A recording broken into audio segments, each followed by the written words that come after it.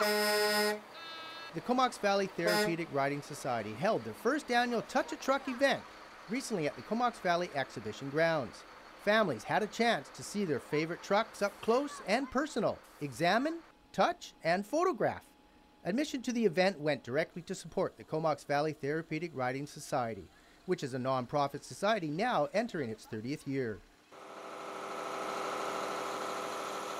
Our son really, really loves trucks, and what an amazing event to come by and just interact with all the trucks, see them up close instead of just driving by, seeing them on the highway. So this is a great event just to just to just to look at all the trucks and experience them up close.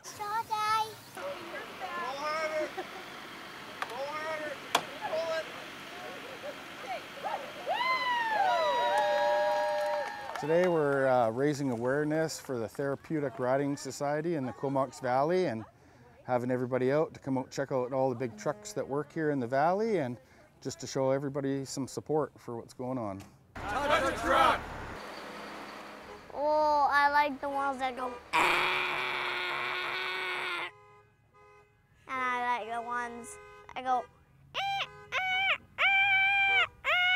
super fun and active. You can meet lots of people and when you can run around and enjoy the time of the day. To develop better learning skills through therapeutic riding is really important to us.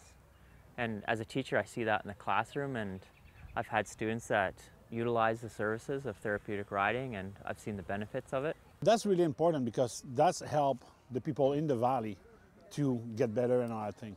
And I think that would be a great cause for them. And for us, is just helping them is a blessing for us too. Everybody needs to be aware of everybody's special need or not and uh, to promote awareness so everybody can lend a helping hand really if you know you have something to help out with you can and it's good and even for young age children that are here and to get them started at an early age to realize that uh, everybody's not always the same and can use a hand. Everyone that we've talked to have been really, really interactive. They've answered all our questions and uh, they've really embraced children here also to show them the trucks and um, he's gotten a fire hat, some stickers, and everyone's really totally welcomed him into the into the vehicles.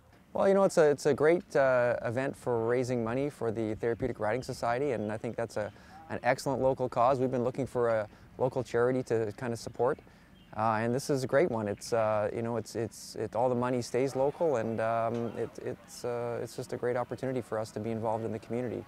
The event sure did attract many children and their families, as this is a first for the Comox Valley. The Society hopes it will become one of the Comox Valley highlights for years to come. In the Comox Valley, I'm Barry Bailey.